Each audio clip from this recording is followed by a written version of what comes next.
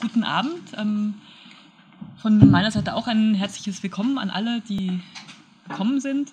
Ähm, einen herzlichen Dank an die Veranstalterin ähm, für die Einladung und für das Aufstellen der interessanten Veranstaltungen. Und natürlich ein Dank an die Referentinnen und auch das Publikum, das Lokal, dass alle gekommen sind.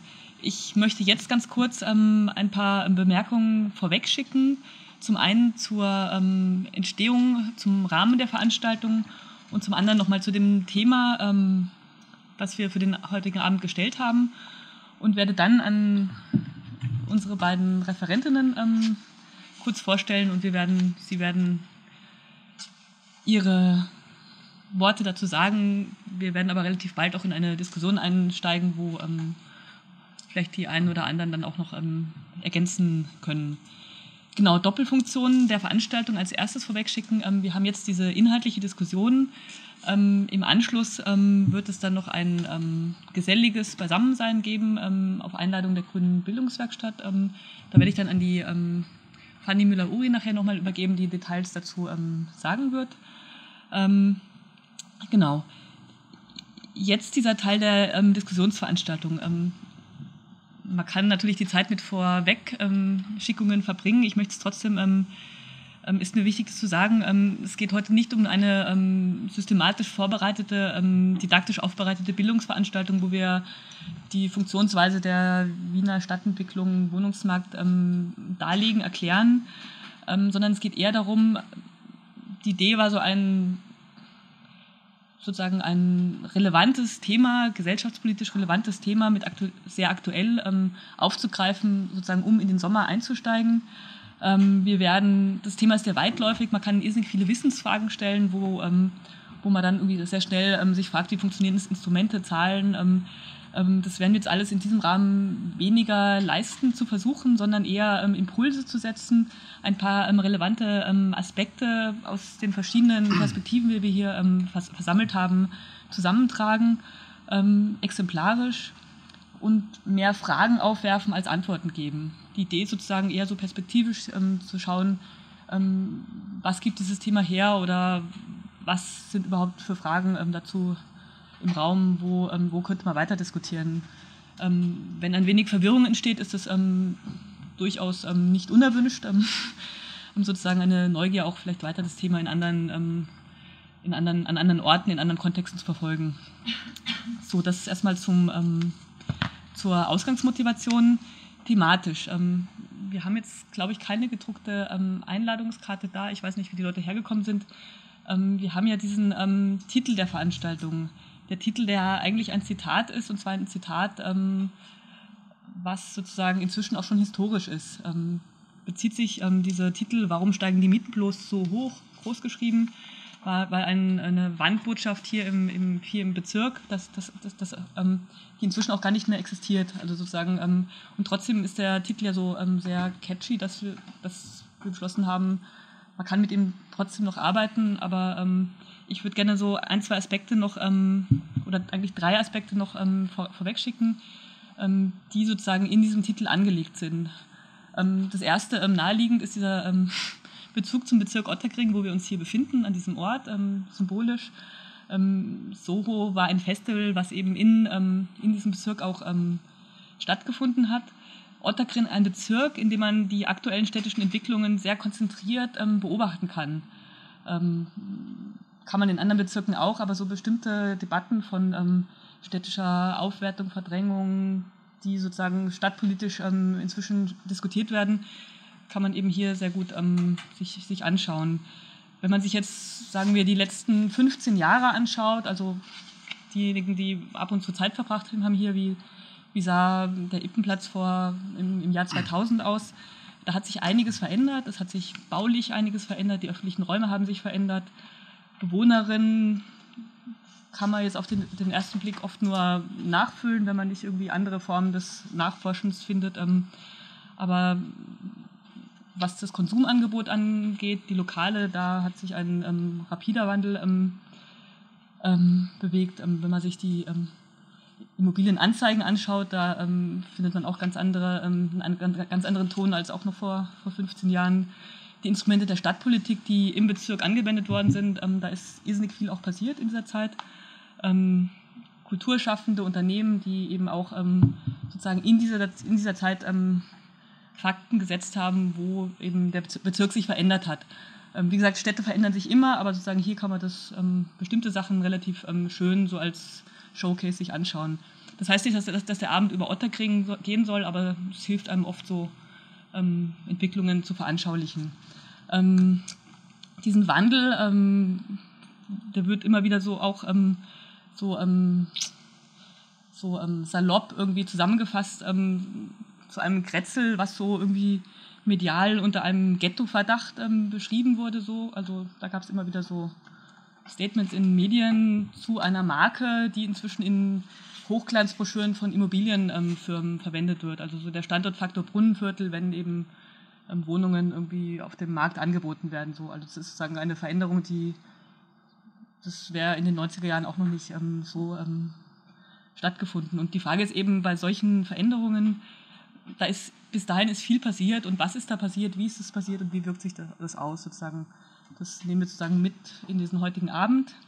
Ähm, das zweite nur ganz kurz, das ist, möchte ich eigentlich auch nicht als Thema sozusagen in die Mitte stellen, aber bei diesem Titel, den wir haben, sollte das kurz Erwähnung finden, ähm, der Bezug zu ähm, diesem Kulturfestival Soho.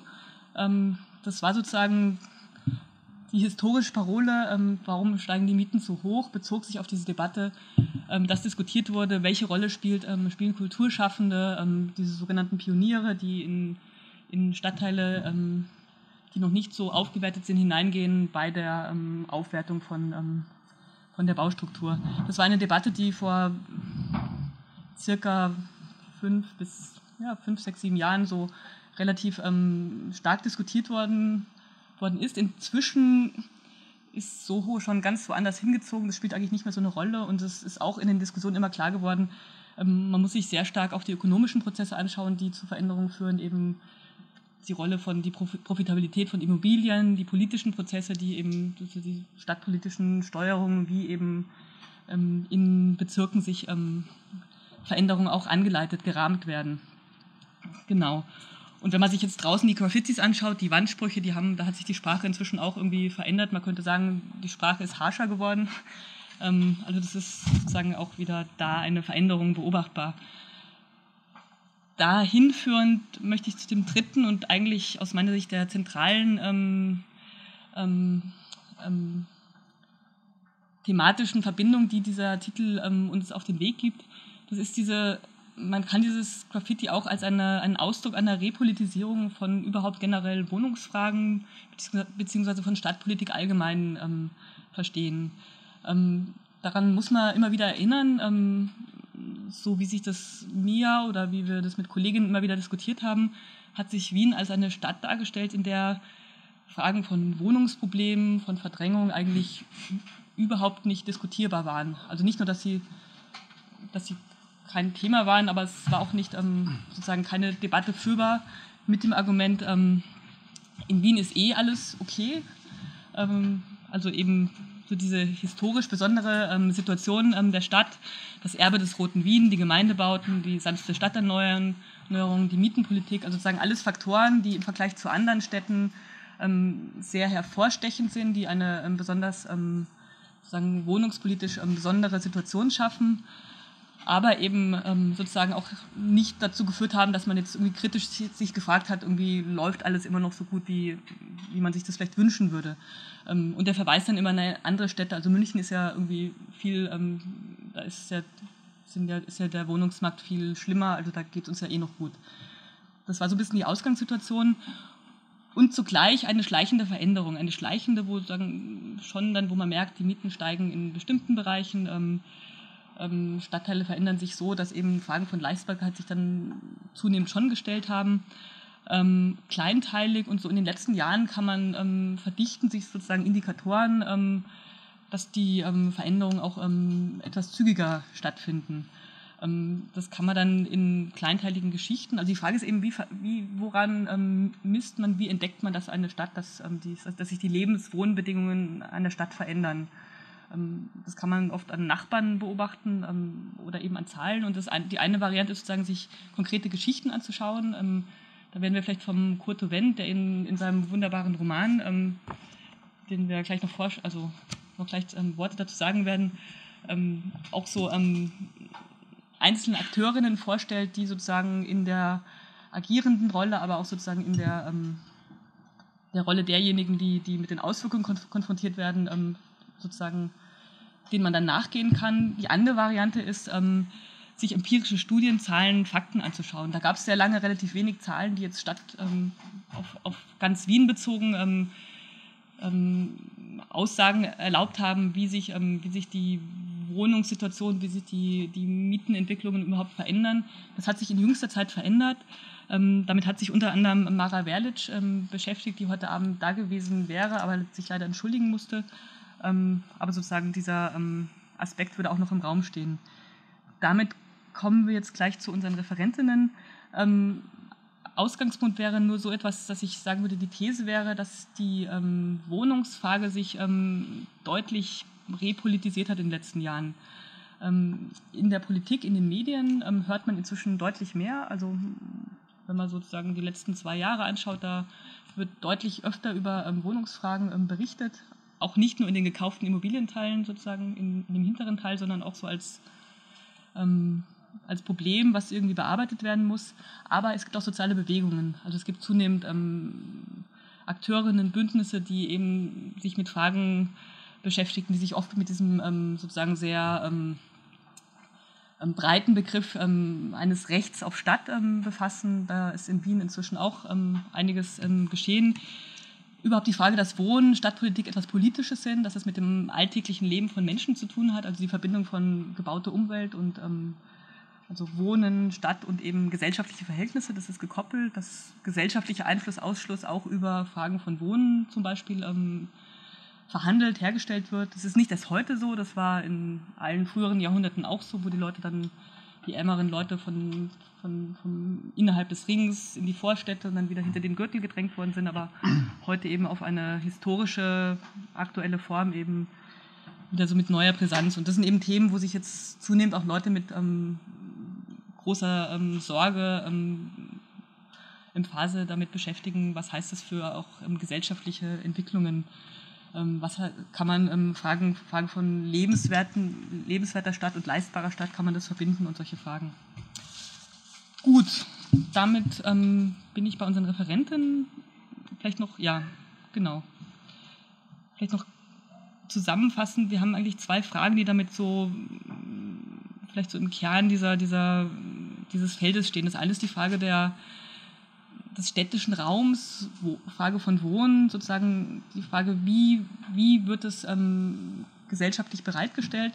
Da taucht immer wieder der Begriff der Kommodifizierung auf. Also ist Wohnraum etwas, was, was für, die, ähm, für den Gebrauch der Gesellschaft ähm, bereitgestellt wird oder ist es eben heute eine, eine, eine Kapitalanlage so, was eben sagen, gerade nach der Immobilienkrise eine, ähm, ein, ein wichtiges Thema auch geworden ist.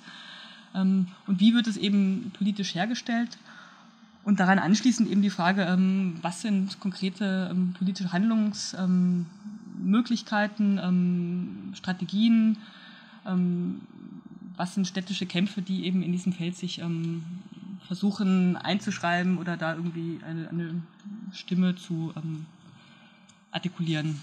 So, das war jetzt eine etwas längere Vorrede, auch so ein bisschen mit der wissen, dass ähm, Mara Werlic heute ähm, nicht da sein kann. Damit komme ich zu unseren ähm, Referentinnen, wo wir sehr froh sind, dass sie da sind. Ähm, wir haben als erstes Jutta Sander. Ähm, sie ist grüne Gemeinde- und Bezirksrätin, seit 1983 in verschiedenen Funktionen in der Kommunalpolitik aktiv, ähm, hat einen, seither auch einen langjährigen Otterkring-Bezug. sie wird anfangen, kurz ihre Erfahrungen aus dieser Zeit, was, was aus Ihrer Sicht zentrale Entwicklungen ähm, und ähm, sozusagen auch politische Herausforderungen im, im Bereich Stadt, städtisches Leben, städtische Politik ähm, sein können, ähm, kurz darstellen. Ähm, als zweites haben wir Kurt Wendt. Er ist Autor, Medienbeobachter, auch Aktivist. Er hat mehrere Romane geschrieben. Den einen habe ich jetzt eben schon vorge ähm, hinaufgehalten. Er hat die anderen auch mit dabei. Ähm, da empfehle ich Ihnen nachher selber anzusprechen.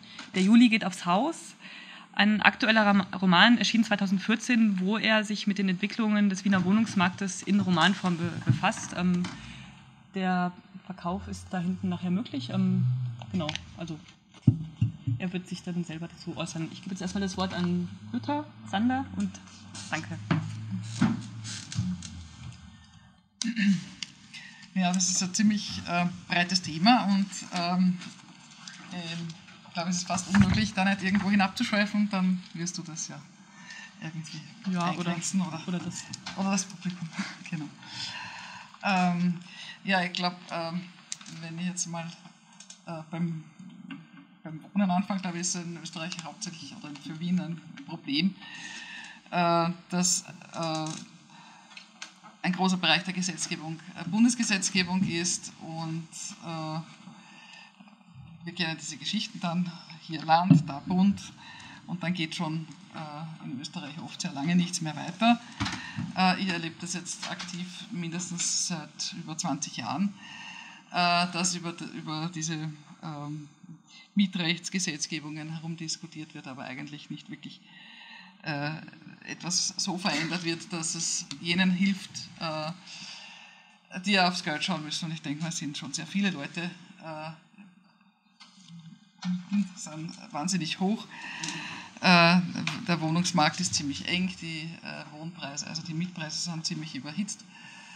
Und ähm, es ist ja auch ähm, so, dass es äh, sehr viele Anlagewohnungen gibt, also wo halt irgendwelche Firmen aus äh, Zypern oder irgendwo äh, sehr viele Wohnungen besitzen, äh, wo es dann eigentlich hauptsächlich äh, um äh, das Kalkulieren und Spekulieren geht, aber es geht nicht darum, dass da Leute drinnen wirklich wohnen. Äh, ich habe auch ziemlich lange im 8. Bezirk ähm, in der Bezirksverstehung gearbeitet und da gab es zu der Zeit, ich weiß nicht, wie es heute ist, da gab es mehrere Wohnhäuser im 8. die waren einfach leer, weil das die Besitzer nicht äh, interessiert hat, dass sie die überhaupt besiedeln. Äh, das nur, hätte nur Kosten gebracht oder weil die Leute diese Mieten, die sie verlangt haben, einfach nicht bezahlt haben. Ja. Ich denke mal, das ist eigentlich, äh, kann es in einer Stadt wie Wien nicht so sein, dass Wohnen dann so privat ist, dass andere einfach ausgeschlossen sind.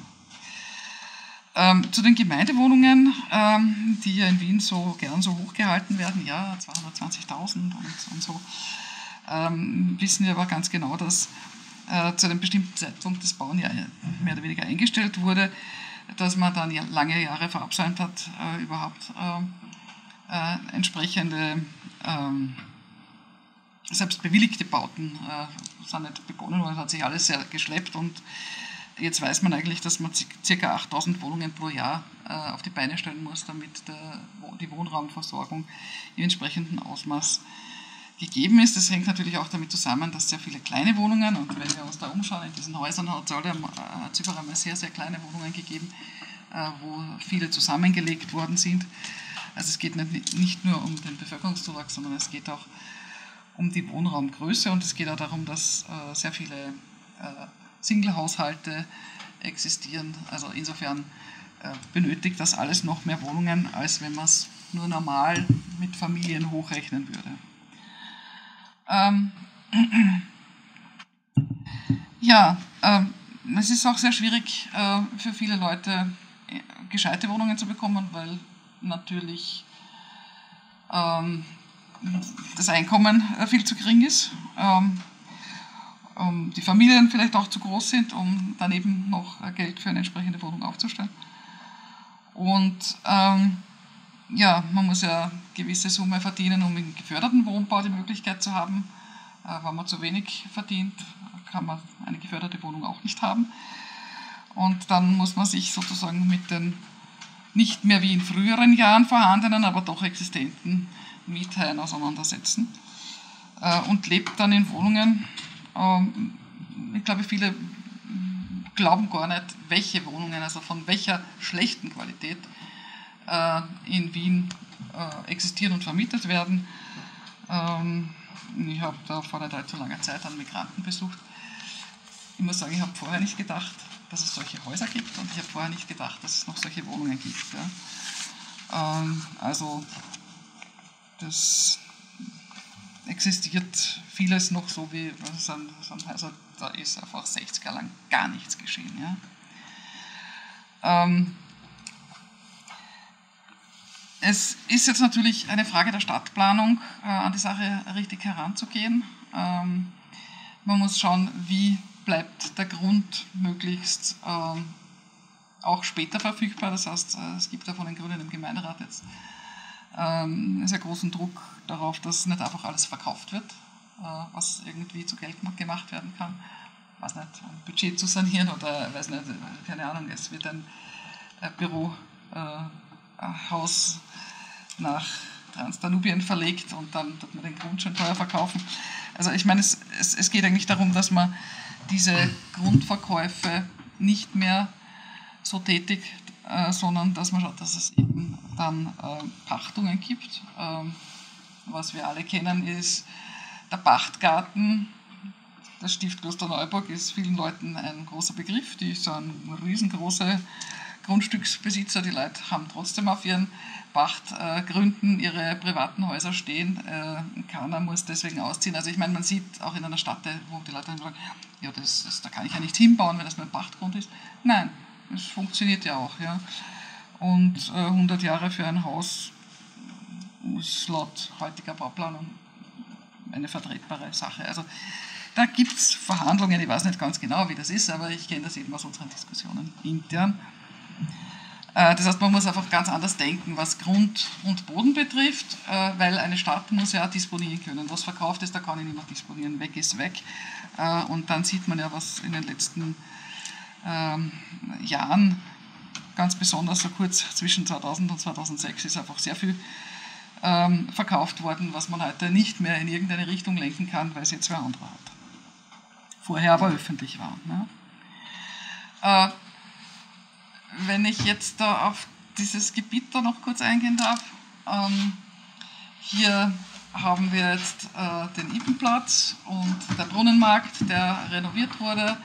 Wir haben da hinten äh, die Otterkringer Straße, die in einem äh, sehr vorbildhaften Bürgerinnenbeteiligungsverfahren zu dem geworden ist, äh, was es ist. Ich muss persönlich sagen, ich bin sehr glücklich, dass es so ausschaut, wie es jetzt ausschaut. Ähm, sicher gibt es den einen oder die anderen, die sagen, ja, da, das hätte ich mir ein bisschen so oder ein bisschen so vorgestellt. Aber ich habe die Diskussionen fast alle miterlebt und ich glaube, es ist ein ziemlich guter Kompromiss daraus geworden.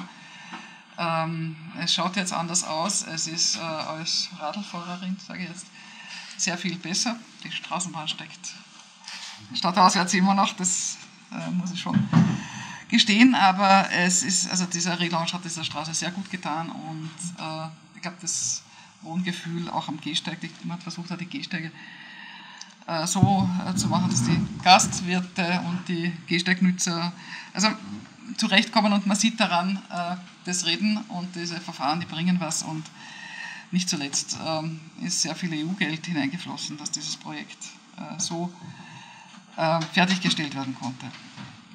Auch beim Markt äh, war es ähnlich, also da gab es zwar kein, also die Marktstandler waren schon beteiligt, die Bürger nicht.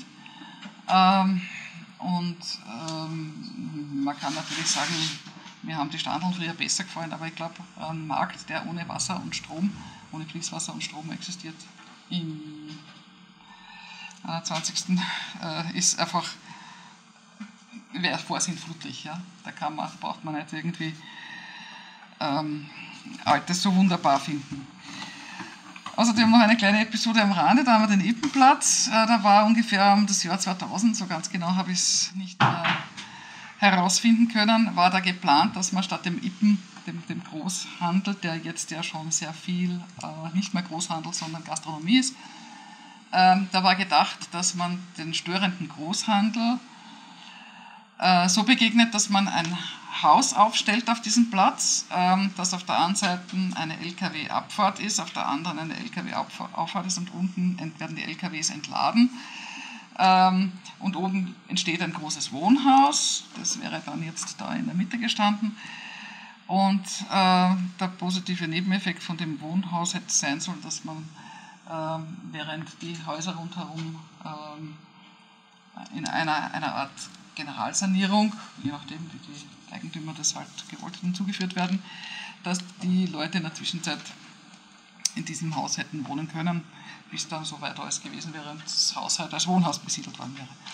Da gab es aber einen großen Aufstand, weil einfach diese Platzstruktur erhalten werden sollte. Und ich denke, es ist auch wichtig, dass eine Stadt äh, wie Wien hat für mich eh viel zu wenig Plätze, die Straßen sind zum Teil sehr eng, dass man auch noch Platz hat.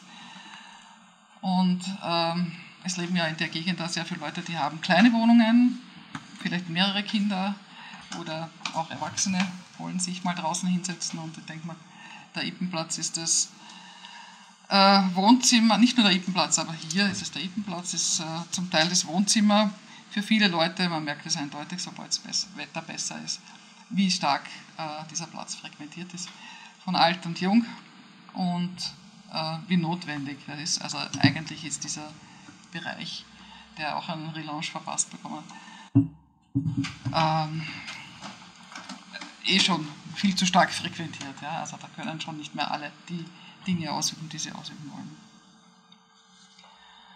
Ähm, ja, ich würde es da jetzt ganz gerne stehen lassen. Ja, danke, danke schön ähm, für diese erste Runde. Wir können alle noch ergänzen. Ich gebe es einfach gleich im Anschluss an den Kurto weiter mit Schilderungen, Erfahrungen. Ähm, also ich habe äh, bei den Recherchen zu meinem Roman äh, zwischendurch mal eine ganz erstaunliche äh, Feststellung machen müssen, nämlich, dass die schönste, die oberste Etage der Stadt überhaupt von jeglicher Planung ausgeschlossen ist. Also niemand plant, was auf der obersten Etage ist. Es gibt einen einzigen Plan, nämlich äh, äh, diese Ebene zur totalen äh, Kapitalverwertung freizugeben. Ähm, man könnte äh, auf Dachgeschossen auch äh, Gärten machen, man könnte Kinderspielplätze machen, alles Mögliche. Aber weder auf einem Amtsgebäude noch auf einem Privatgebäude gibt es irgendwelche gesetzlichen Regelungen, ähm, dass das irgendwie gemeinschaftlich oder öffentlich zugänglich ist. Ähm, das resultiert aus, auch aus der, aus der Wohnsanierstrategie, die sogenannte sanfte Stadterneuerung. Ähm, das bezeichnet ungefähr 27.000 Gründerzeithäuser in Wien, ähm, also Häuser, die so bis zu 1910 gebaut wurden. Äh, die sind alle mittlerweile in einem etwas schlechteren Zustand und ähm, die Stadtregierung hat beschlossen, den Hauseigentümerinnen die Möglichkeit geben, äh, gefördert diese Wohnungen und Häuser zu sanieren weil das Mietrecht äh, auf diese Häuser angewandt wird und für die Hausbesitzerinnen relativ wenig Rendite rausschaut.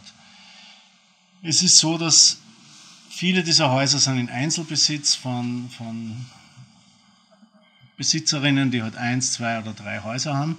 Die sterben aber jetzt äh, nach der Reihe. Also ich selbst wohne in einem Haus, wo ich eine 96-jährige Besitzerin habe. Solange das so ist, äh, passiert mit dem Haus relativ wenig. Äh, man kann gemütlich wohnen, man hat eine relativ günstige Miete.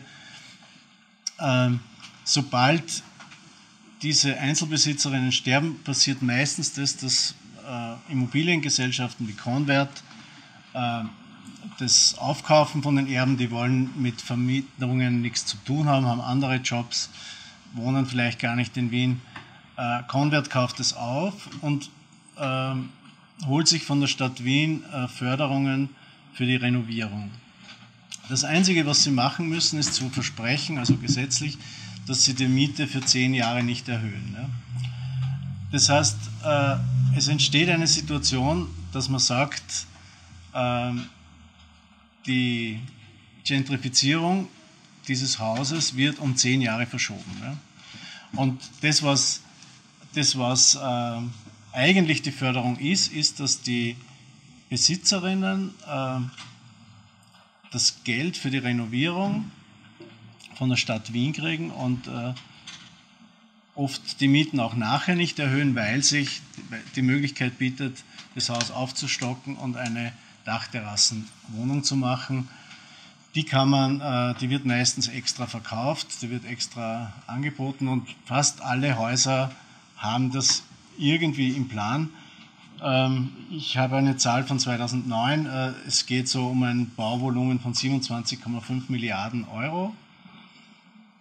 Derzeit, also auch wieder die Zahl von 2009, da waren erst 15 Prozent äh, davon bebaut. Am höchsten ist es im 8. Bezirk eben, die, wo schon die meisten abgeschlossen worden sind. Das heißt, es findet in Wien eine, eine Art horizontale äh, Gentrifizierung statt. Äh, der Begriff die da oben kriegt völlig eine neue Bedeutung. Ähm, und interessanterweise haben sich sogar die Genossenschaften, die ja äh, von der Stadt Wien, äh, also die Stadt Wien hat Mitte der 90er Jahre aufgehört, Gemeindewohnungen zu bauen, also selbst zu bauen, äh, weil es zu teuer war. Da sind viele Korruptionsgelder geflossen. Also tatsächlich jedes Haus hat ungefähr doppelt so viel gekostet, wie es vorher veranschlagt war. Das war aber kein, das ist kein originär ökonomischer Grund gewesen, sondern einfach Misswirtschaft. Äh, jetzt gibt es 18 Genossenschaften, die diesen Bau für die Stadt Wien übernehmen. Und die haben fast alle dasselbe Prinzip. Äh, Erdgeschoss, erster Stock äh, Sozialwohnungen, dritter, vierter Stock äh, geförderte Genossenschaftswohnungen, wo man schon äh, sehr viel Eigenkapital braucht, um dort überhaupt äh, dabei sein zu können. Also eine massive Mittelstandsförderung und oberste Stockwerke frei finanziert. Äh, frei finanziert heißt, wird zum Luxuspreis verkauft oder vermietet äh, ob da dann nicht wieder äh, in, in diesem Bauwesen äh, der, die, die, Marmorterrasse von oben äh, eigentlich von den äh, Baukosten unten mitfinanziert wird, das, also ich wage zu bezweifeln, dass es nicht so ist. Deswegen sind, und zu den Genossenschaften, also Beispiel, ich habe ein Beispiel herausgegriffen, die Gesiba, die wurde 1921 gegründet, äh, um den Siedlern und Siedlerinnen, die, die sehr massiv äh, in Wien selbst äh, ihr Schicksal in die Hand genommen haben, einfach ein Stück Land besetzt haben, dort eine Hütte hingebaut, also einerseits rund um die alte Donau, andererseits im Wienerwald. Äh, von denen hat es dann Anfang der 20er Jahre drei große Demonstrationen gegeben, 50.000 Leute am Rathausplatz. Und ihre Forderung war, wir wollen gratis Baustoff für unsere Siedlungen haben, die wir bauen wollen. Noch dazu auf einem Grund, der Ihnen vorher nicht gehört hat. Und die G7 wurde gegründet, dass man zum Selbstkostenpreis dann äh, Baustoffe äh, lukrieren kann, dass man, das war tatsächlich eine Art Serviceeinrichtung der Stadt. Jetzt ist die G7 eine Aktiengesellschaft äh, baut selber gar nichts, macht nur Bauaufsichten und das weiß die Jutop sicher besser dann, wie, wie das äh, vonstatten geht. Aber die managt, die macht Pläne, äh, die macht Kontrollen etc. Also diese, diese Form der Unterstützung von, von Selbstorganisation äh, ist in den Genossenschaften schon längst verloren gegangen. Man kann auch sehr wenig mitreden, was und wie gebaut wird. Also das find, ich finde, was Bauen betrifft in, in Wien ein, ein, sehr großes Demokratiedefizit. Also man kann sich jetzt den Boden aussuchen, der angelegt wird, wenn man eine Genossenschaftswohnung hat. Man kann dieses und jenes ändern, aber man kann nicht auf die Struktur einwirken. Also so Ideen wie, dass, dass die Hausgemeinschaft mitbestimmt, was im Erdgeschoss für ein Lokal drin ist. Ja? Also wenn ich in einer Wohnung wohne als Mieter oder Mieterin, äh, habe ich überhaupt kein Recht, mitzubestimmen, ob im Erdgeschoss ein äh, äh, irgendein Glücksspielunternehmen äh, reinkommt. Ja? Also das ist diese Form von, von Partizipation ist irgendwie, ich weiß nicht, ob es, es war auch im, äh, es war auch im Roten Wien, das möchte ich nur mal kurz streifen, nicht anders. Also es war auch eine sehr paternalistische Art und Weise, äh, mit den Bewohnern und Bewohnerinnen umzugehen. Äh, da hat es klare Vorstellungen gegeben, wie Leute wohnen sollen und äh, wie das Zusammenleben funktionieren soll. Der Unterschied war, zwischen 1923 und 1930 hat, hat eine durchschnittliche Arbeiter, Arbeiterin in Wien 4% ihres Gehalts für Wohnen aufgewendet. 4%. Äh, Im Goethehof habe ich mir das jetzt angeschaut, Gemeindebau gebaut 1930, zahlen die Leute jetzt durchschnittlich 26 Prozent äh, ihres Gehalts für Mieten. Äh, am freien Wohnungsmarkt zahlen die meisten Leute 30 bis 40 Prozent. Äh, es gibt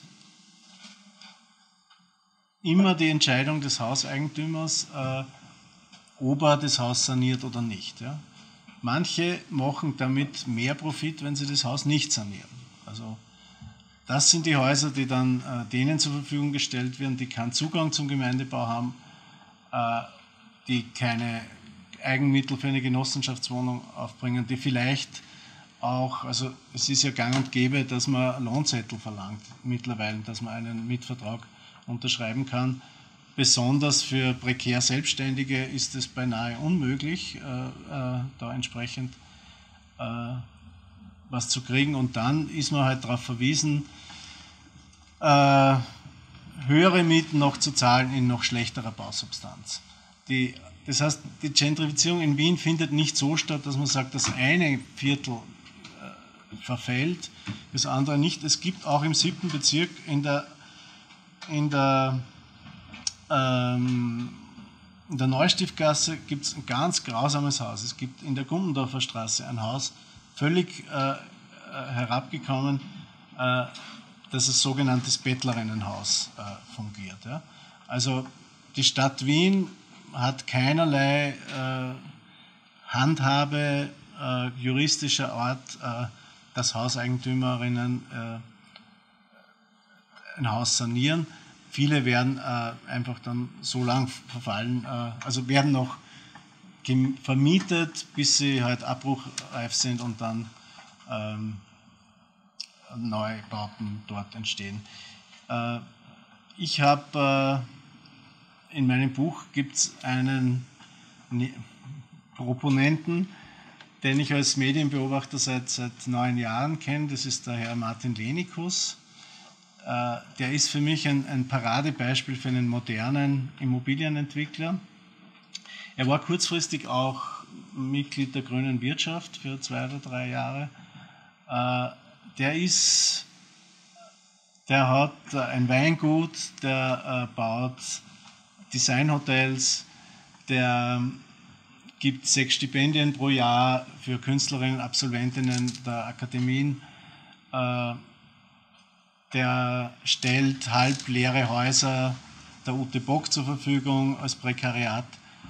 Und all das immer unter der Prämisse, dass sich, dass sich die Objekte, die er kauft, äh, fünf Jahre später oder zehn Jahre später in, in Kapital umschlagen. Also Ute Bock, Beethovengasse, 9. Bezirk. Äh, da waren noch zwei Altmieterinnen in dem Haus. Äh, Ute Bock konnte natürlich auch nicht ablehnen. Ich kann nicht sagen, äh, wir verzichten auf zehn Wohnungen, weil sie, haben, sie führen da was anderes im Schild. Die wurde angenommen. Die rassistischen Hausaltmieterinnen halten das nicht aus, mit den Flüchtlingen in einem Haus zu wohnen und ziehen dann aus und das Prekariat ist dann wieder vorbei. Dasselbe mit den Künstlerinnen am Bauernmarkt. Äh, erste Lage im ersten Bezirk. Natürlich, Künstlerinnen feiern viel äh, äh und die Altmieterinnen im ersten Stock und im obersten Stock äh, halten das irgendwann nicht mehr aus und, und ziehen aus. Ja. Also es, man, man kann, äh, auf seiner Homepage steht sein Leitspruch, wer nichts riskiert, es gibt, nein, es ist nichts riskanter, als nichts zu riskieren. Ja? Also da, da, ist auch noch so ein bisschen ein Spieltrieb drinnen und, und, und Kapitalverwertung und alles unter dem Aspekt der Verschönerung. Ja? Also ich finde, man sollte Verschönerung der Stadt kann man keinesfalls ablehnen, meines Erachtens. Aber äh, das, was an Interessenskampf zu tun ist, ist zu schauen, dass die Verschönerung halt tatsächlich äh, allen zugutekommt. Und wenn jetzt so ein Dachgeschoss gebaut wird, in einem, in einem Gründerzeithaus, wo teilweise die, die Klos noch am Gang äh, waren, dann bedeutet das, äh, dass der Liftstrang eigentlich immer dort ist, wo die Klos waren. Ja? Und die Leute, also die Baustellen dauern zwei Jahre, das muss man erst einmal aushalten. Ja? Äh, da wird schon sehr viel geschafft dadurch, äh, dass Leute halt freiwillig gehen. Also die muss man gar nicht raushauen. Äh, ich möchte abschließend noch so, so ein bisschen Fantas für Fantasie plädieren, was man machen könnte. Und da gibt es internationale Beispiele. Also äh, eine Meldepflicht für leerstehende Wohnungen zum Beispiel. Binnen einem Monat, würde ich sagen. Ja. Äh, und wenn es nach zwei Monaten, weiteren Monaten nicht vermietet ist, dann äh, hohe Strafen, die beinahe so, also man muss nicht Strafen, Abgaben, Steuern, die dann in den Wohnblau fließen könnten, beziehungsweise wie es in Amsterdam halt äh, bis vor wenigen Jahren war, dass wenn man leerstehende Wohnungen sieht, die längere Zeit leer stehen, dass man sie äh, straffrei besetzen kann. Ja. Ähm, oder dass man, dass man versucht, äh, Hausgemeinschaften zu formieren und, und zu sagen, wir wollen, wir wollen dass, dass unser Haus auch sowas wie eine gemeinsame Waschküche wieder hat oder, oder dass das Gassenlokal zu einem äh, Hausgemeinschafts- Non-Profit-Café umgestaltet wird oder so. Ja. Das Erschreckende ist die, die, die wirkliche, das Gefühl, allein zu sein mit den hohen Mieten und aber zu wissen, dass der Nachbar und die Nachbarin äh, dasselbe Problem hat. Äh, aktuell habe ich und ein paar andere gerade eine, eine Bürgerinneninitiative Alle Hopp gegründet wir, zur Verkehrsberuhigung der Hörlgasse.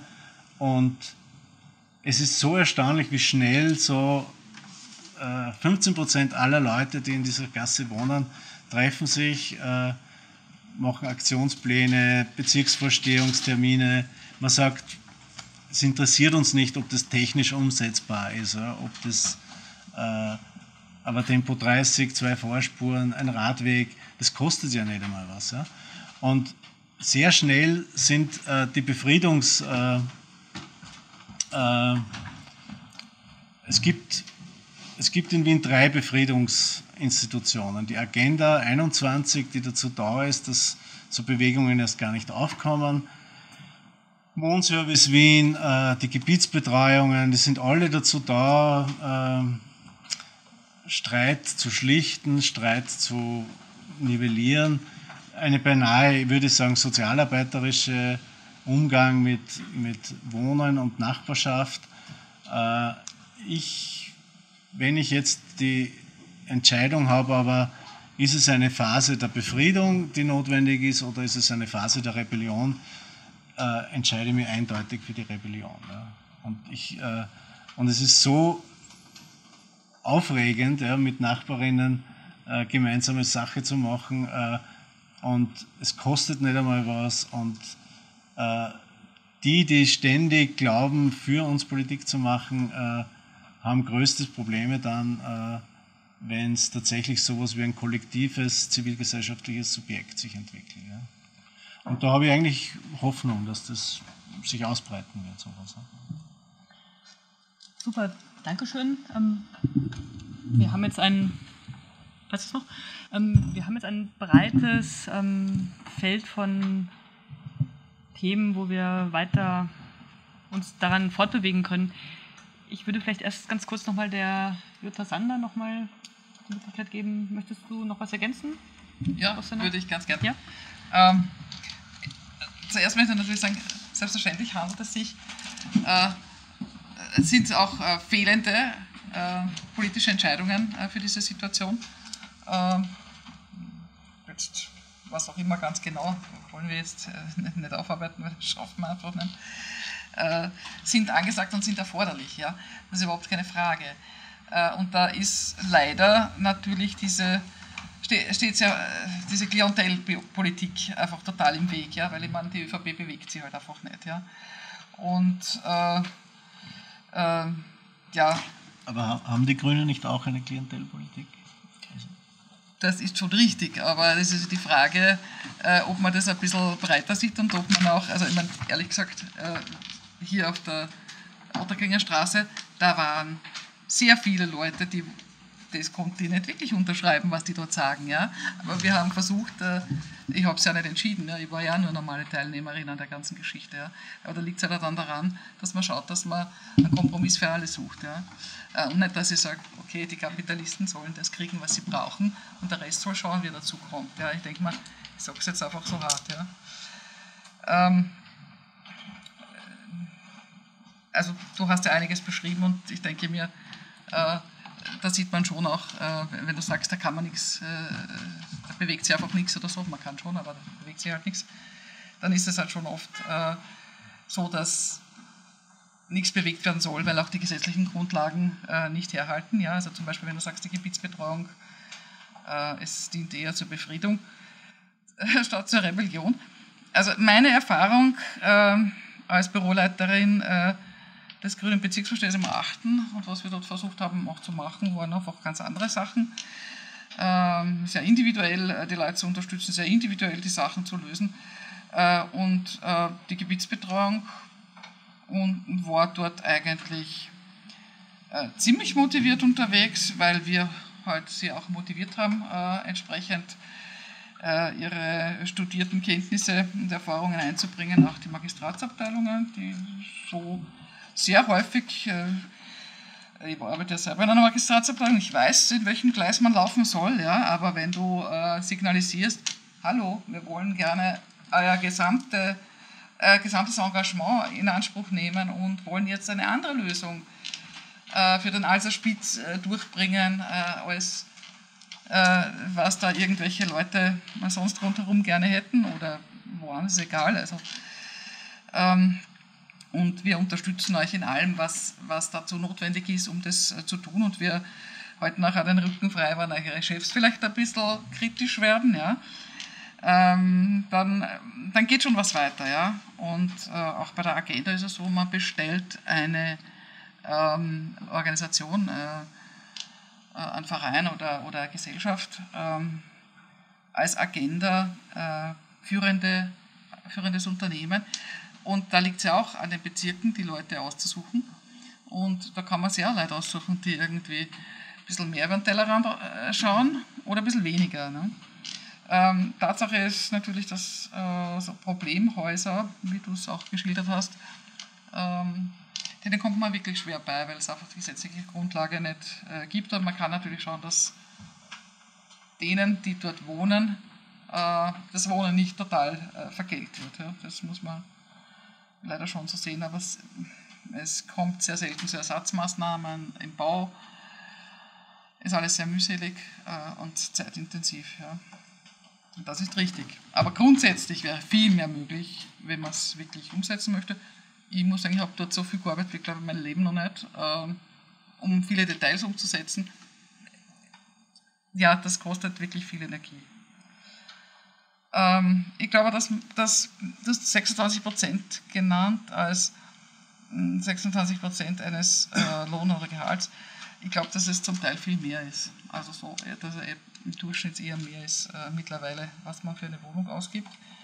Ähm, weil es oft so ist, dass. Das war nur im Goethehof. Also, also geht, äh, okay. Goethehof. Äh, Entschuldigung, ja, da habe ich die missverstanden. Ja. Ähm, okay, ja, ich glaube, andere Sachen wir für später.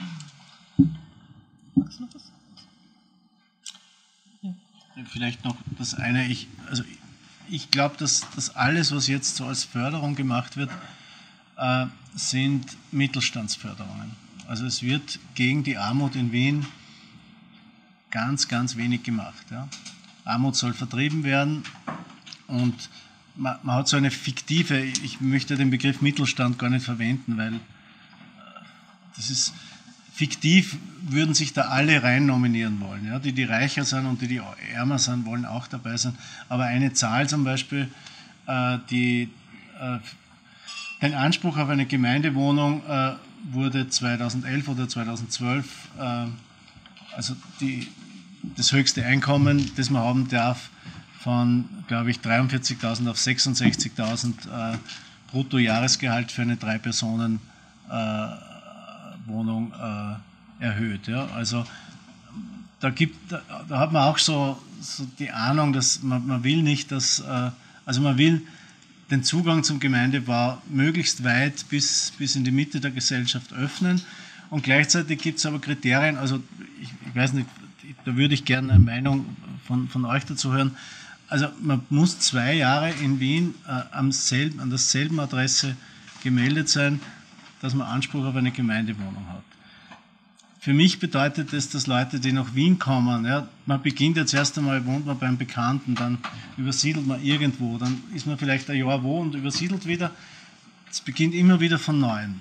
Es beginnt immer wieder äh, die, diese Zwei-Jahresfrist zu, zu laufen. Migrantinnen haben oft gar nicht den rechtlichen äh, Zugang äh, zu diesen. Diese Hürden, da kann man sagen, die sind gerecht, die sind für alle gleich und so. Aber in Wirklichkeit ist es so, dass die prekärsten schließt man mit einem ganz kleinen, dürren Formalakt eigentlich aus. Ja. Das gilt zum Beispiel alle, die in diese Wohnung ziehen wollen, müssen am selben äh, Ort vorher zwei Jahre gewohnt sein. Ja. Also wenn ich jetzt wen kennenlerne und ich ziehe mal zusammen oder so, muss man zuerst zwei Jahre lang eine Wohnung finden. Befristungen sind Gott sei Dank derzeit nur bis zu drei Jahren möglich, aber möglicherweise haben wir bald einmal so ein totales äh, prekäres Wohnsituation, dass du dann nach einem Jahr wieder rausfliegst. Also das, man, muss, man muss relativ äh, klar wissen, äh, man muss die, die, die, eigenen gesetzlichen Voraussetzungen ziemlich genau kennen, dass man äh, die Möglichkeit hat, äh, eine durchschnittliche Gemeindewohnung äh, zu kriegen und kann man sowas nicht abschaffen? Kann man da nicht sagen, nach einem halben Jahr oder so? Kann man das nicht kampanisieren oder äh, ich, ich, ich, weiß nicht, habt ihr da irgendwie also? Ich kenne es denn, also ich muss sagen, ich habe im Gemeinderat vor langer Zeit, äh, drei Jahre, diesen Bereich äh, betreut. Das ist alles nicht mehr relevant, äh, war in den 90er Jahren Anfang. Ähm, ich bin aber äh, immer wieder in der Wohnungskommission gewesen und ehrlich gesagt, also diese Zwei-Jahresfrist, ich weiß nicht, äh, was die genau für, einen, für eine Basis hat und äh, haben wir das schon hergeschrieben. Ich weiß, ich weiß es wirklich nicht. Ja. Ich, ich weiß, dass man in, über die Wohnungskommission alles ähm, verändert betrachtet, betrachten kann und ich weiß auch, dass dort sehr viele Leute, die ein sehr hohes Einkommen haben, ich weiß gar nicht, warum sich die dann, ich meine, man muss ja auch wissen, wenn ich mir eine Gemeindewohnung wenn ich eine Gemeindewohnung beantrage, äh, muss ich sehr lang warten, bis ich eine bekomme. Vor allem, wenn ich mir einen bestimmten Bezirk aussuche oder zwei oder drei, die mir besonders gut gefallen. Da werde ich ewig warten, wenn ich nicht auf ganz Wien ausweite. Äh, dann dann äh, kriege ich irgendwo eine Gemeindewohnung angeboten, äh, ganz am anderen Ende von dem äh, Ort, wo ich eigentlich gerne hin wollte. Wenn ich äh, Nein sage, habe ich vielleicht das letzte Mal Nein gesagt.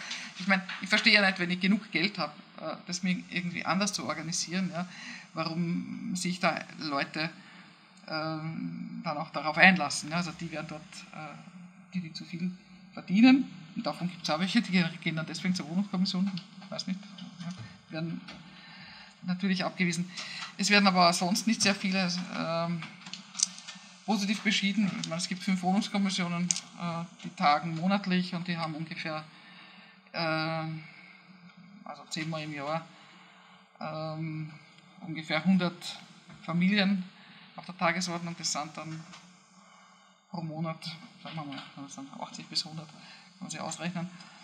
Ähm, es wird sehr selten äh, positiv beschieden, ähm, weil das ja heißen würde, wenn ich jedes Mal äh, in, einer, in, jeder Wohnungskommission 50 Leute äh, bevorzuge, dann warten die anderen hinten länger. Ja. Also das ist ein Instrumentarium, das es gibt äh, für besonders schwierige Situationen, für kranke Kinder, für äh, Leute, die plötzlich behindert sind und das dringend brauchen. Also solche Möglichkeiten gibt es. Ja. Aber wie gesagt, ja. aber die zwei Jahresfrist nehme ich mit.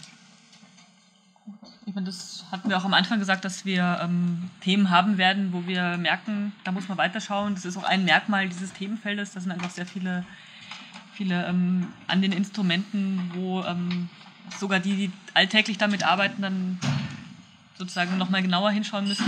Umso mehr bei Menschen, die im Alltag einfach nur ähm, davon ausgehen, dass sie gerne ihre hohen Bedürfnisse befriedigt haben wollen, aber jetzt sich nicht weiter damit hineindenken. Ähm, wir haben jetzt eine ganze Menge so Indizien gehört, so im Bereich von Strategien, ähm, Instrumenten, wo sich Veränderungen ergeben haben, wo irgendwie was fehlt.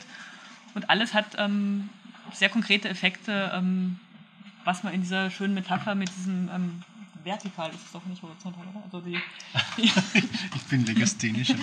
Nein, das äh, horizontal geht auch. Also diese gesellschaftliche Schichtung, die sich irgendwie in den Stockwerken der Häuser, aber auch eben sehr kleinteilig in der Stadt ähm, widerspiegelt, ähm, wo zum Teil gerungen wird, die umzusetzen, aber eben auch, wo, wo man sozusagen bestimmte Muster sich anschauen kann.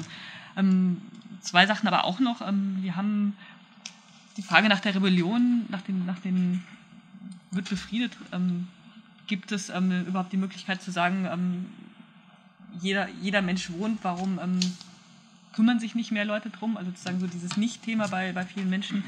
Also auch so eine Undenkbarkeit von ähm, bestimmten Fragen, die man ähm, vielleicht fordern könnte. Also wer hat schon mal sich vorgestellt, ähm, warum sind nicht alle ähm, Wiener Dächer ähm, frei zugänglich als Grünanlage? Das, es gibt sozusagen die, das Thema ist geprägt von Undenkbarkeiten eigentlich, wo sozusagen auch ähm, vielleicht auch so die Gedanken erst anfangen zu können, anfangen müssten so.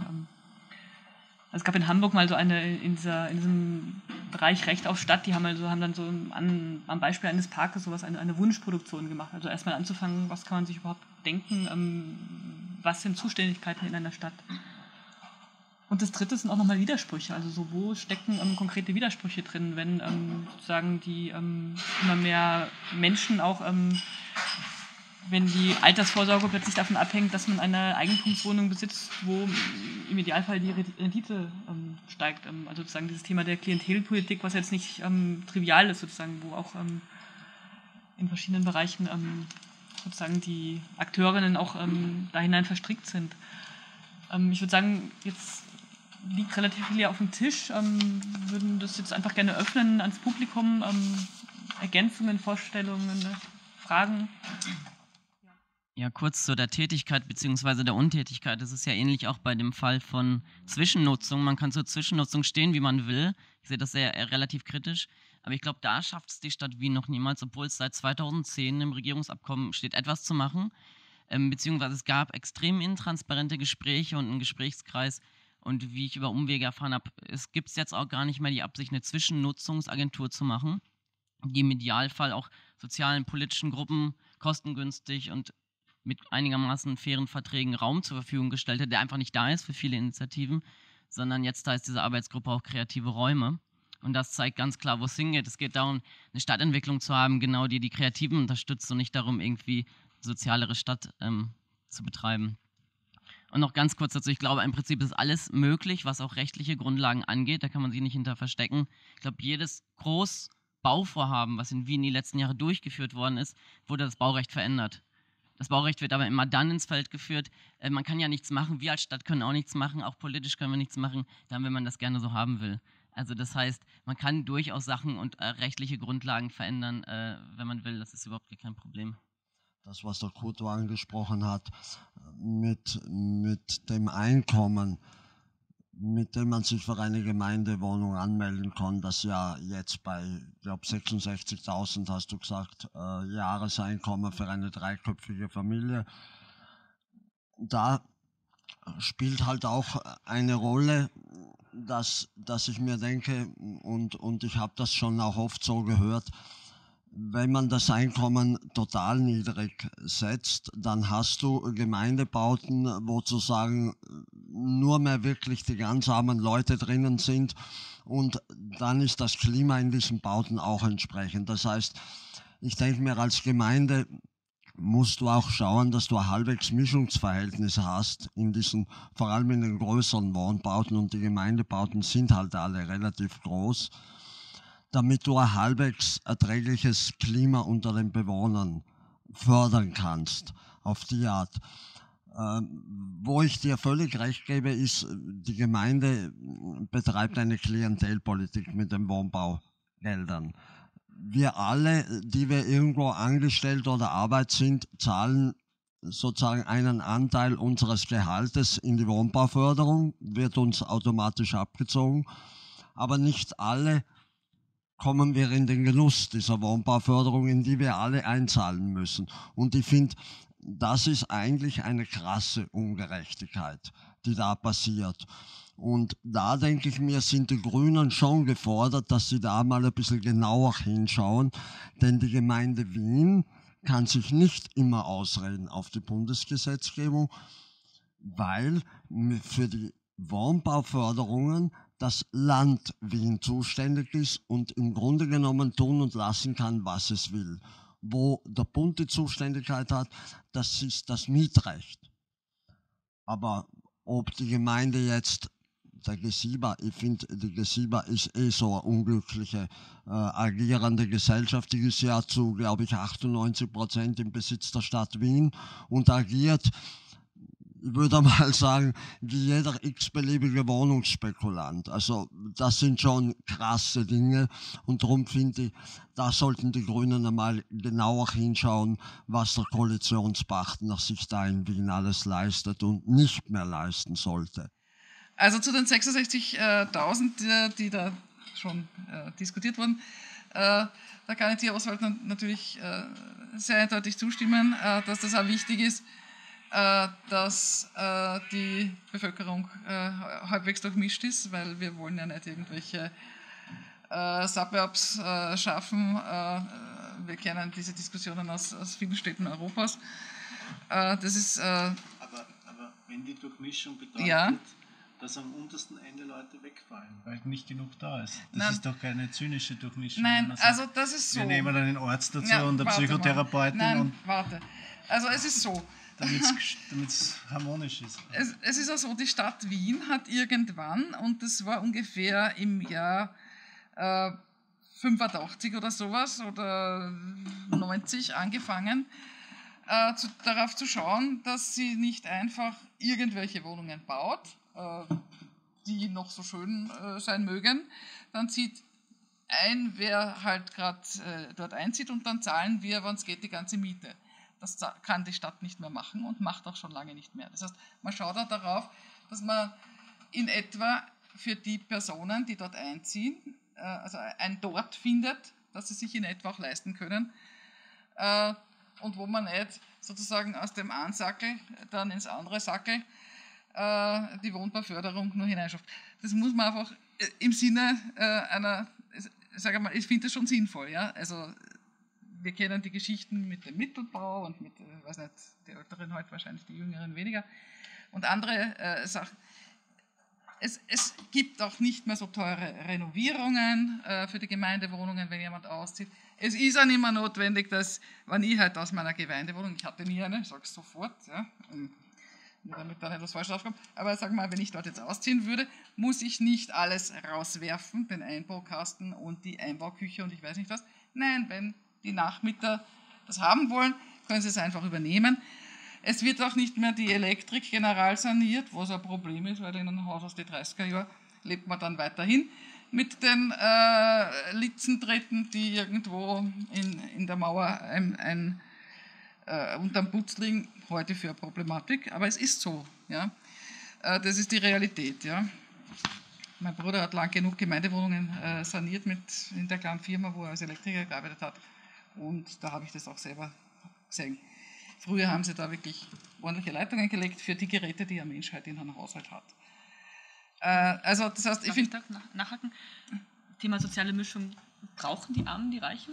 Also weil die Stadt Wien ist ja eigentlich ein schillerndes Beispiel, wo man das auch mal umgedacht, umgekehrt gedacht hat, wo man zum Beispiel in den 20er, 30er Jahren sich dazu entschieden hat, eben Gemeindebauten auch in die sogenannten wohlhabenderen Bezirke zu stellen, in der umgekehrten Logik eben zu sagen, gut, dann Ja. ähm, politische Steuerung. Man Vorhanden sind sie überall, die Gemeindewochen. Ja, aber die Tendenz, der Gedanke ist ja heute umgekehrt zu sagen, da ist ein, ein Haus, ein Bezirk nicht so wohlhabend, da schaut man, dass man zahlungskräftigere dazu bekommt, damit Nein, sich nein, das, das, nicht hängt, so das hängt meistens mit der Wohnungsgröße zusammen. Also ich habe zum Beispiel äh, gesehen im 21.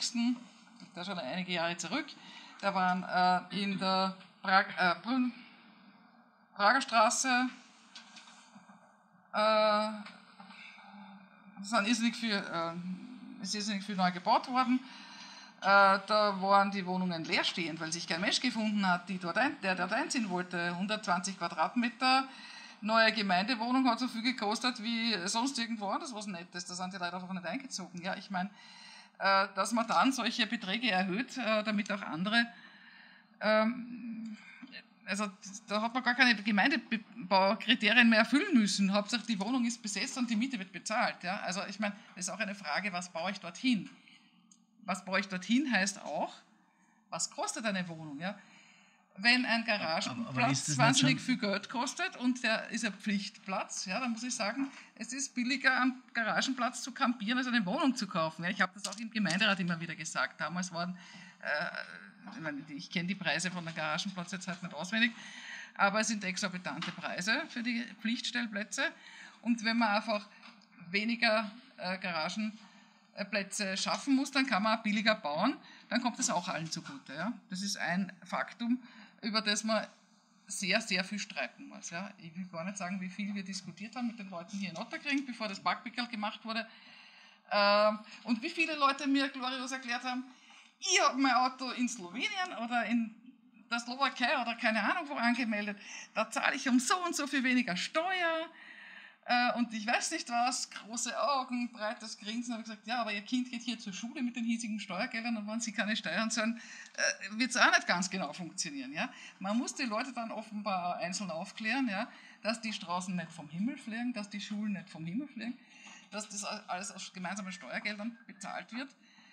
Ähm, ich bin auch eine, die hier verficht, dass man die Straßen nicht so oft renoviert. Ähm, Der Asphalt muss nicht immer so schön sein. Ich meine, ich fahre ich fahre auch gerne nicht, falle auch nicht gerne von einem Loch ins andere, wenn ich im Radl sitze, aber ich glaube, wir sind noch lange nicht so weit. Wir können das Geld auch noch für was anderes investieren. Da hat auch der Bezirk die Möglichkeit, Geld äh, aufschiebend ähm, für was anderes zu verwenden. Ja?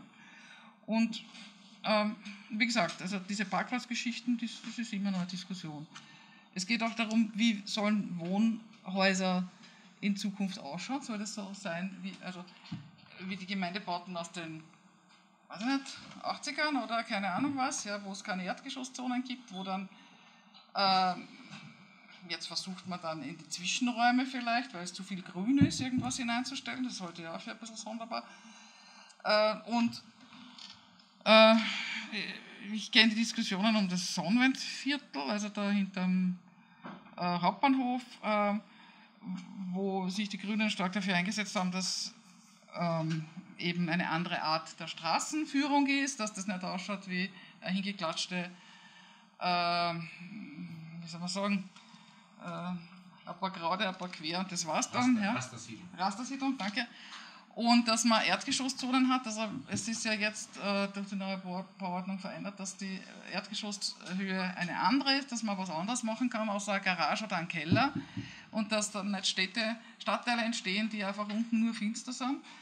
Ähm, ein Beispiel, das sich auch hier abspielt, man hat hier versucht, die ähm, Standelbetreiber anzuregen, äh, dass sie am Abend ihre äh, geschlossenen Stände bis 22 Uhr beleuchtet halten und ihre Ware dadurch präsentieren, aber auch diesen Straßencharakter, also dieser, dieser, der Brunnengasse, einen beleuchteten Straßencharakter, statt einen finsteren Schluff zu geben, sind da, das sind, klingt vielleicht witzig für manche, aber ich denke mal, das ist auch Charakter einer Stadt oder, oder, einer, oder einer Zone, äh, in der man sich nicht so gern bewegt. Ja, also denkt man, das sind alles Dinge, äh, die man auch äh, berücksichtigen muss. Also zum Teil geht es heute um Kosteneinsparung, was die Garagen betrifft, zum Teil geht es um Lebenswerte. Ähm, Zonen, wo sich dann auch im Erdgeschoss was abspielt, was, was auch wieder dazu führen kann, dass sich die Leute treffen. Oder eben, ja, es kann auch Kindergarten, Schulen habe ich mir erzählen lassen können, so nicht stattfinden in einer Erdgeschosszone, so langgestreckte Schulen geht irgendwie nicht. Ja, ich erkläre das jetzt nicht weiter. Also es gibt da sehr viele Details im, im äh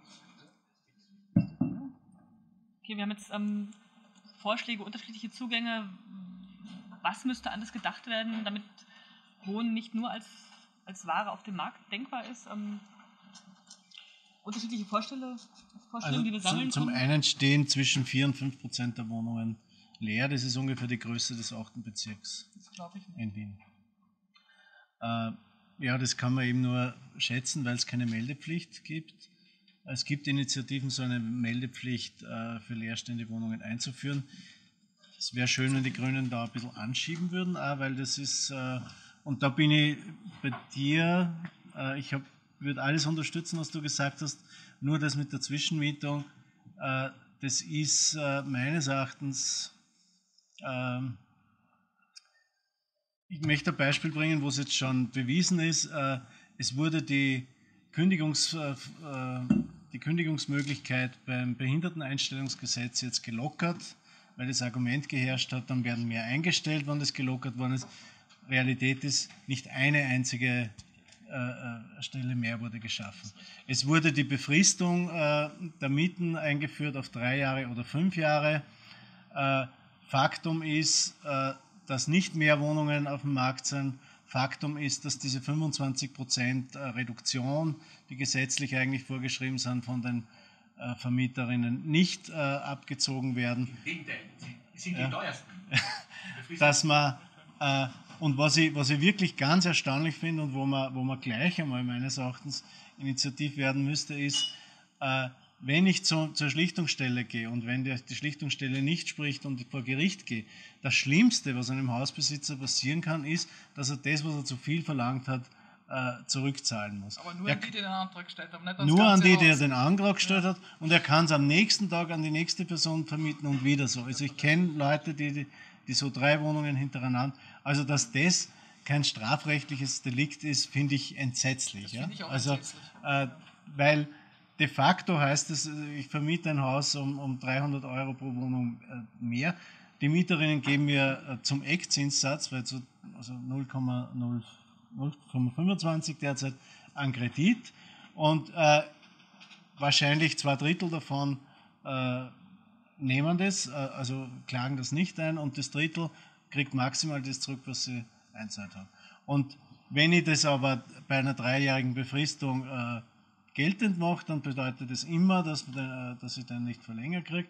Wenn ich aber zum Beispiel bei einer Befristung ähm, nochmal, äh, also die Befristung verlängere in einen unbefristeten, verwirke ich das Recht, äh, dass ich das rückklag, weil ich dann ja nicht mehr in der Notlage bin, äh, eine Wohnung einzuklagen. Also da gibt es auch im juristischen Bereich äh, haarsträubende Dinge, die man meines Erachtens nur kampanisieren müsste. Ja? Und die Einzelnen, also ich würde, weil ich ärgere mich immer eigentlich über so Slogans wie, warum sind die Mieten bloß so hoch, weil es sind nie die Künstlerinnen, äh, die schuld sind, äh, dass die Mieten steigen, sondern es sind immer das fehlende, das fehlende Zivilcourage der einzelnen Leute, ihre, also sich in den Häusern zu organisieren oder beziehungsweise ihre Rechte einzuklagen. Ich kenne auch Leute, die es nicht eingeklagt haben, weil sie gesagt haben, na ja, ich kann mir es eh leisten und und ich will nicht streiten und die Wohnung, das ist so intim, da kommt irgendeine Kommission und schaut sich das an. Also damit treibe ich die Mieten in die Höhe, indem ich, meine, indem ich auf meine eigenen Rechte verzichte, treibe ich die Mieten für alle äh, auch in die Höhe. Und weil äh, zu Beginn das mit den Vorsorgewohnungen, äh, das sind nicht nur die Fonds aus Zypern, äh, die Vorsorgewohnungen kaufen, sondern das ist genau diese Mittelklasse, die 60.000, 70.000 Euro am Konto gehabt hat in der Anlagewohnungen, nicht? Vorsorge. Anlage, ja, Vorsorgewohnungen heißt das, was, was, äh, was die einzelnen äh, Kassen anbieten.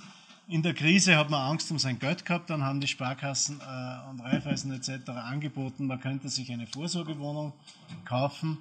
Ähm, in dem Angebot drinnen steht, wir suchen Ihnen den Mieter, wir garantieren Ihnen 5% Rendite, Sie brauchen mit denen überhaupt nichts zu tun haben und nach zehn Jahren, wenn Ihre Kinder zum Studieren anfangen, dann ziehen die in die Wohnung ein.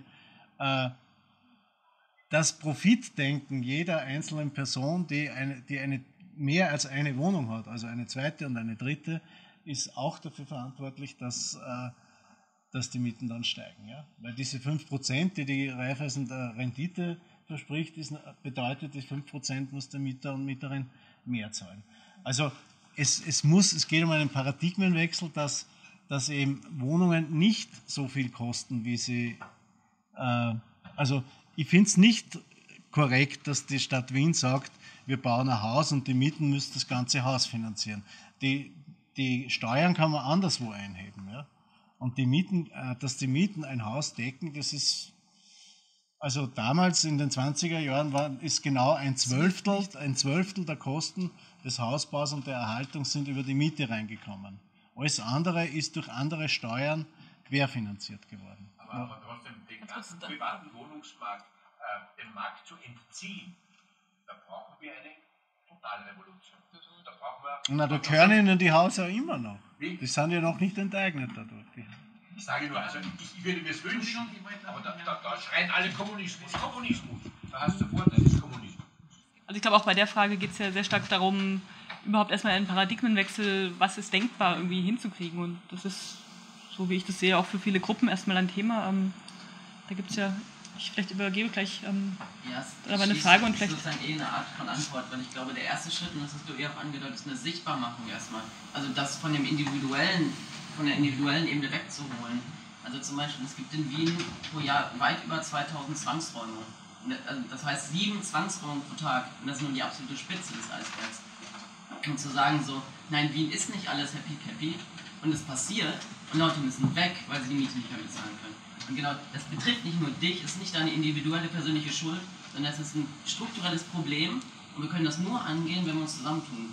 Und ich finde da die Erfahrung in in Berlin mit Zwangsräumung verhindern und so weiter echt sehr inspirierend, wo Leute gesagt haben, die diese Scham versucht haben zu überwinden und auch Support bekommen haben von Leuten, die gesagt haben, das ist nicht deine individuelle Schuld und wir setzen uns gemeinsam zu, zu Wehr. Das ist ein gemeinsames Problem. Und ich glaube, das ist sozusagen der erste Schritt, das erstmal ähm, auch im Diskurs zu verändern, zu machen, das deutlich zu machen. So. Und dann daraufhin sich zu verbinden. Weil wie sollen die Leute sich verbinden, wenn sie gar nicht wissen, was ihr gemeinsames Problem ist? Wenn alle denken, es ist nur mein Problem und ich traue mich nicht mit anderen darüber zu reden. interessanterweise ist es kein, kein Massenaufregungsthema. Also, ähm, wobei es, glaube ich, tatsächlich nur um die Zusammenführung ginge und halt vor allem auch um die.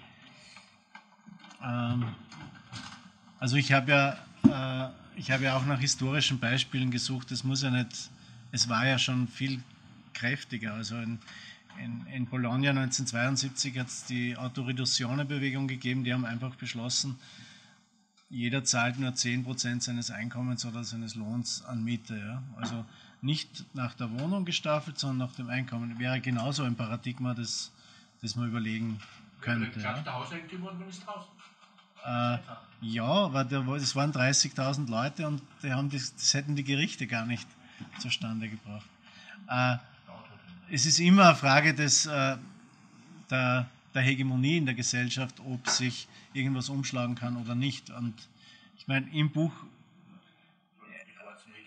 in dem Bu im Buch gibt es eine, eine Mietboykottbewegung, die einfach 50.000 Leute beschließen, den Juli nicht zu bezahlen. Und, und die haben auch das Gefühl, ja, was ist, wenn es der andere zahlt? Also man kann sich ja nie sicher sein, weil Wohnen tatsächlich ja eine wirkliche Intimität ist. Ja? Man will, äh, die Wohnung zu verlieren ist, äh, also du hast das eh, das ist eines der dramatischsten Dinge. In Spanien hat es äh, 2012, 2013 15 Selbstmorde gegeben, die sich äh, aus dem Fenster gestürzt haben und so. Also das ist aus der Schande heraus. Also was du, was du zuerst gesagt hast, äh, die haben aber eine sehr starke äh, Housing-Bewegung wenn man sich dorthin wendet, dann ist es nicht eine Mieterberatung wie bei uns. Ich würde das zum Beispiel auch als Problem sehen. Also unsere Mieterberatungsgruppen sind Parteivorfeldorganisationen. Jede Partei hat ihre eigene Mieterberatung und natürlich. Bitte? Die Grünen haben nichts. Doch, die Mieterinteressensgemeinschaft ist die Grüne. Jetzt mache ich auch noch ein bisschen Werbung. Die MIG, ja? Ja, aber natürlich jede Partei sagt, das ist keine Vorfeldorganisation. Aber Faktum ist es so. Ja? Die, die, die, äh, die Gebietsbetreuungen machen, machen auch Mieterberatung ja. Und sind keine Parteivorfeldorganisation. Die machen wahrscheinlich die also sehr effiziente, umfangreiche. Ja, aber die beraten, es wird so beraten, wie kann ich gerade individuell noch äh, auskommen. Und in, in, Spanien ist es so, da kriegt man zuerst mal einen einwöchigen äh, juristischen Grundkurs. Also die sagen, zuerst musst du mal genau wissen, was sind deine Rechte und wie kannst du sie umsetzen. Und wenn die dann einen Termin bei der Bank haben, dann geht der nicht allein hin, sondern gehen zu 20 hin. Und wenn der Bankbeamte sich weigert, alle 20 zu empfangen, dann picken die die ganze Filiale voll. Und dann, also wir müssen da schon ein bisschen äh, selbstbewusster werden im, im Umgang äh, mit dem Gegner, weil eins ist schon klar, Mieterinnen sind ungefähr 100 Mal so viel wie Besitzerinnen. Ja? Also, dass dieses Mehrheitsverhältnis nicht ausgespielt wird, ist relativ kurios eigentlich. Okay, wir haben noch zwei offene Fragen. Ähm, Macht da jemand noch die Frage? Ja, nach, da habe ich keine Antwort. Die Frage nach den kollektiven Hausaneignungen. Das, das, geht, das geht natürlich schon. Ja? Also ich glaube, wenn, wenn das Angebot hoch genug ist, ja, äh, nur der Verkäufer kann jeden, also dieses Privat, diese Kuh, der heilige Kuh des Privateigentums, ist halt, ja, der kann auch wem anderen verkaufen. Nur ich könnte mir meine Wohnung natürlich nicht leisten zu kaufen. Ja, also ich, ich wohne. Nur einen Hausanteil kaufen. Wir, also ich bin ein, ein Begünstigter eigentlich. Wir wohnen auf 130 Quadratmeter zu dritt und zahlen 615 Euro Miete. Das ist ein Mietvertrag von 1987. Äh, äh, Gründerzeithaus, Belletage, 4,80 Meter hohe Räume, äh, keine Zentralheizung. Ja. Äh, wenn ich mir das jetzt. Ja, wenn, wenn, ich diese, wenn ich diese Wohnung jetzt kaufen würde, würde ich wahrscheinlich ungefähr im 9. Bezirk 400.000 Euro dafür zahlen müssen.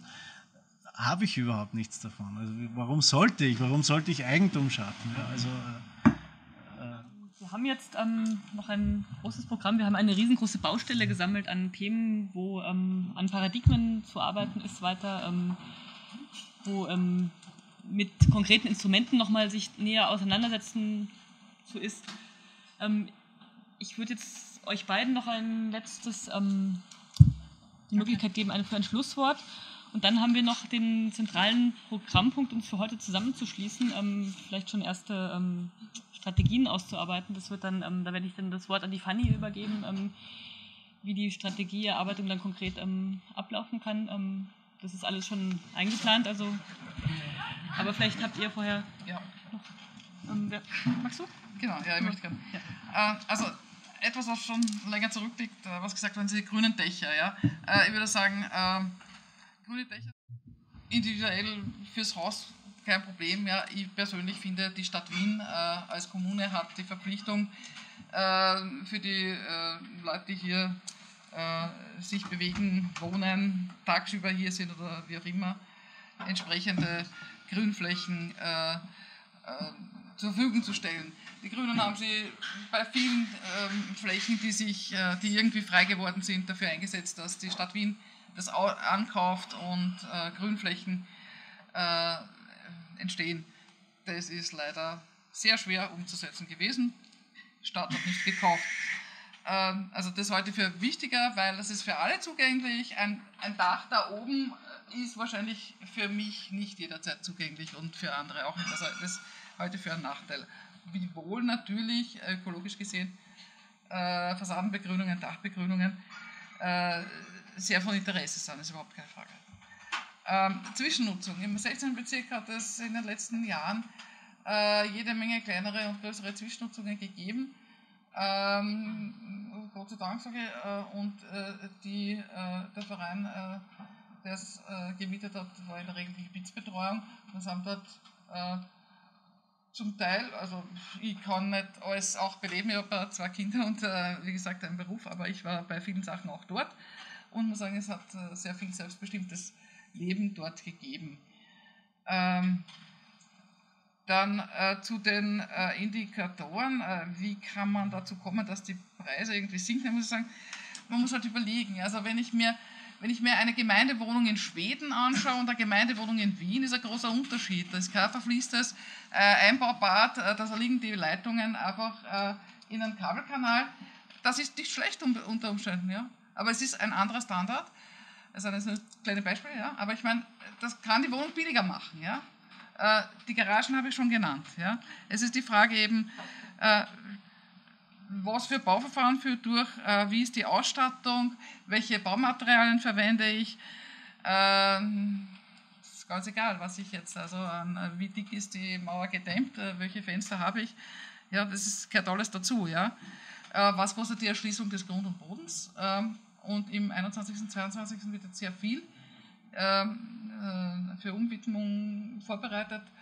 Äh, da haben die Grünen auch darauf geschaut, äh, dass die Bauern, die einen späteren Grüngürtel, also der, deren Grund ein späterer Grüngürtel sein wird, dass die dasselbe kriegen wie die anderen, wo dann Bauland sein wird. Ich denke mal, das ist auch wesentlich für die, die jetzt dort verkaufen. Ja, und auch für die, die später dort wohnen werden. Ja, weil für uns insgesamt ist, sind die Wohnungen wichtig, der Grüngürtel ist auch wichtig. Ja. Äh, und also diese Grünschneisen, die auch entsprechend Grünversorgung sein sollen.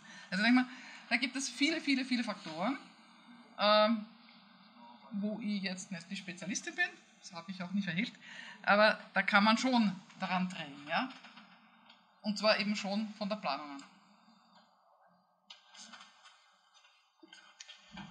Ähm, ja, ich sage nur diese zwei Dinge, die mir so am einfachsten und am wichtigsten erscheinen. Das eine ist äh, äh, Zwischennutzung gratis jederzeit. Also sobald irgendwas leer steht, äh, vielleicht kann man sogar einen kleinen Antrag irgendwo stellen, wann das wichtig ist für, für die Stadt Wien. Äh, man sieht ein leerstehendes Lokal, beantragt, dass wenn es nicht genutzt wird, dass man es gratis zur Verfügung hat äh, und zur Monatsfrist haut man es, ja, weil es beschleunigt die Vermietung davon. Das zweite wäre mir tatsächlich wichtig, so eine, eine Strafrechtsänderung, dass, äh, dass Leute, die zu hohe Mieten mehrfach verlangen, also Wiederholungstäter sozusagen, äh, dass die zumindest äh, ja, dass die Strafen zahlen müssen dafür, weil das ist eigentlich total nicht einzusehen. Äh, dass, das nicht, dass das geht.